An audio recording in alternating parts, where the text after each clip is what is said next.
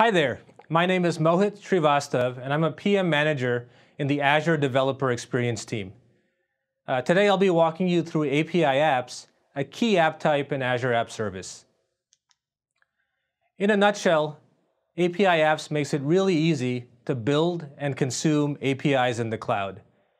In addition, it integrates really seamlessly with API management for a seamless integrated experience for management, hosting, and developing your APIs in Azure. Our first design principle when it came to making it easy to build your APIs was that you could bring your API as is in the language of your choice. And if your API is already an app service, it was really important that you shouldn't have to redeploy your API if it's already hosted as a web app or a mobile app. The first turnkey feature we then add on top of your APIs is simple authentication, and that spans both service to service and user authentication. And it also spans a number of identity providers, including Azure Active Directory, as well as social providers like Facebook and Google. The next turnkey feature is CORS. And what CORS lets you do is, in the portal, you can specify a, a number of domains for cross-domain browser access. And that's especially relevant if you're building an HTML or a JavaScript application that needs to call into your APIs. And finally, we make it possible for you to specify the endpoint of your Swagger metadata. And that's really important if you have partners or customers who need to generate SDKs on top of your APIs, they can find where the metadata endpoint is. And also, because API Apps is part of App Service, it inherits the features for hybrid connectivity and virtual networks. So that means you can use API Apps to build a cloud API that's modern and REST on top of an on-premises API that might not be REST and might be behind your firewall. On the consumption side, we make it easy for you to either use the native SDKs that are provided by Facebook or Active Directory, for example, or to use the Mobile Services SDK, which unifies the experience of connecting across a variety of identity providers. In addition, by virtue of the Swagger metadata that we talked about earlier, we give built-in code generation in Visual Studio. And finally, that same Swagger metadata can empower Logic apps as well. And what you can do there is stitch together a bunch of APIs, both your custom APIs as well as marketplace APIs to orchestrate, uh, to orchestrate a process or workflow. All the features we've just talked about, CORS, API metadata, and EasyAuth are built into App Service. That means they're available across web, mobile, and API apps. If you're a current API apps customer, this is a little bit different than today, where you needed to deploy a separate API apps gateway to get these features. That said, API management has a gateway, and it's certainly possible and even recommended in many scenarios that you put API management in front of your API apps for a full set of API capabilities and features. Uh, so with that, we're going to dive right into a demo uh, we'll walk through the basics of creating your first API app, and then we'll see how you can turn on CORS and how you can turn on authentication. So now we're going to walk through the experience of creating an API app, first a pretty vanilla one, and then gradually adding some of the features that we've talked about. There are two ways to get started. The first way is you can use a built-in API app template in Visual Studio. And the other way is you can take an existing web API and uh, publish it as an API app. So I'm going to walk you through that. So what I have here is an existing web API, and it's a very simple web API. So if I load the startup.cs, you'll see here that in fact it's an empty startup.cs. So that means no authentication, and that means no CORS. Uh, to make it uh, publishable as an API app, I normally want to add metadata. And I'm going to do that using a NuGet package called Swashbuckle. So I'll load the NuGet dialog and search for Swashbuckle here. And go ahead and install it.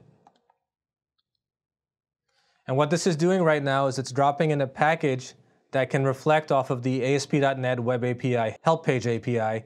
And instead of rendering help pages, it can render Swagger metadata instead.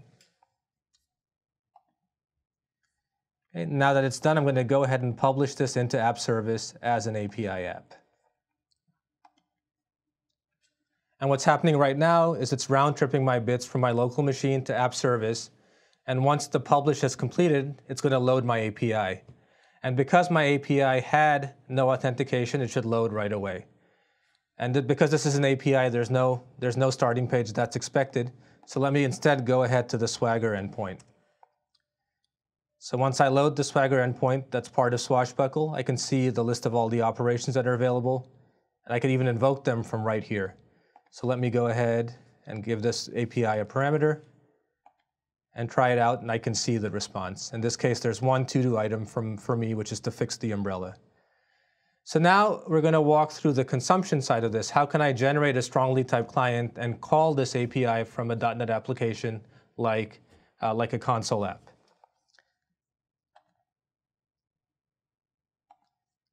So I have here an empty console app, basically what you see right after you do file new. And now I want to build a console client for that to-do service. So the first thing I need to do is right-click to-do client and say add. And I can add an Azure API app client. And once I do this, I have the option of either adding a client for my API apps in app service, or I can just provide a Swagger metadata file uh, independently of that so I don't have to use it with API apps. In this case, I'm going to do the former. And I can see indeed my data API is now available. So I'm going to go ahead and pick it and choose OK.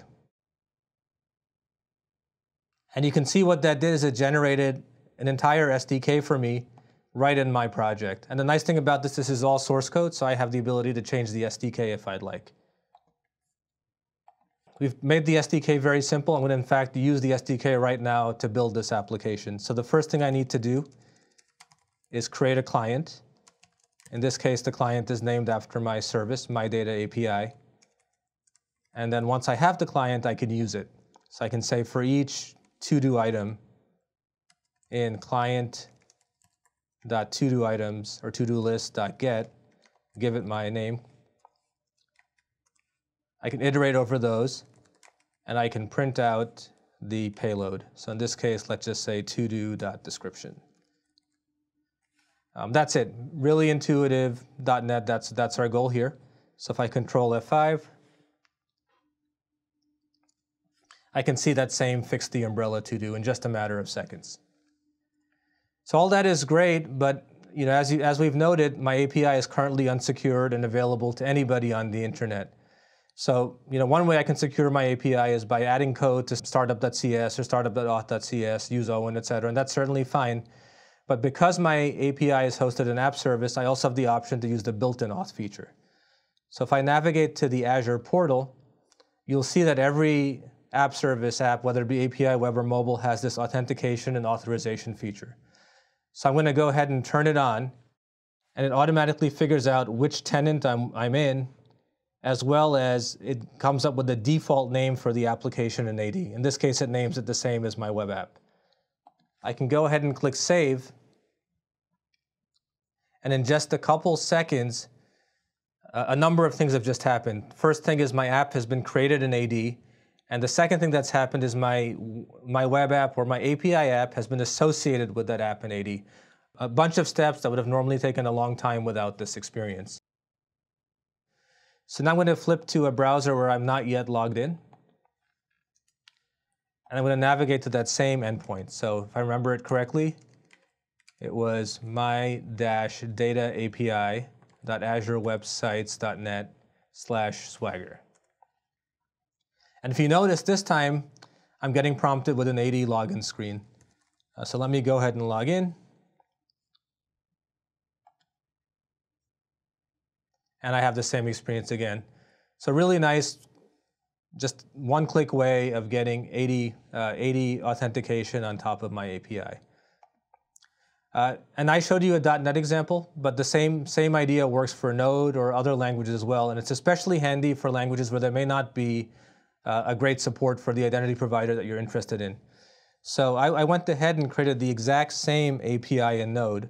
And if you look here, just like in ASP.NET, there's no authentication middleware in my startup path. This is just a vanilla uh, Express, Express-based API in Node. And there's no authentication code in here. And I've already gone ahead and flipped uh, authentication on for this API. So if I again close my browser and restart, and hit the Node API, which I've cleverly named Node Data API, .azurewebsites.net, you'll see I get prompted for AD again. Uh, so as you've just seen, in just a few seconds, we were able to take a Node and a .NET Vanilla Web API and add a number of features. Uh, we were able to add AD auth, we were able to add metadata and uh, SDK generation. And while I didn't show it, we'd have also been able to add CORS in just a matter of clicks. Uh, so with that, let's go back to our slides. All right, I see I'm unfortunately out of time, and I really wanted to show you API management. Uh, but the good news is my colleague has filmed a video just about that, and you can see the short, short URL here to learn more about API management. And if you would like to dive deeper on API apps, please visit our azure.com documentation site. The full link here for API apps uh, is right here. And if you have any questions or want to reach out to me, uh, you can reach out to me at, at Mohit on Twitter. Thank you very much.